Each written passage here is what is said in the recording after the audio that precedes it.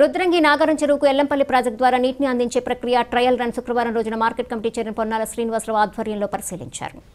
వేములవాడ శాసనసభ్యులు రమేష్ బాబు ఆదేశాల మేరకు రైతులకు సాగునీరు అందించడంలో భాగంగా ఎల్లంపల్లి ప్రాజెక్టు నుండి నాగారం చెరువుకు అచ్చయ్య కుంటకు నీటిని అందిస్తామని దీనికోసం శుక్రవారం ట్రయల్ రన్ నిర్వహించినట్లు శ్రీనివాసరావు తెలిపారు.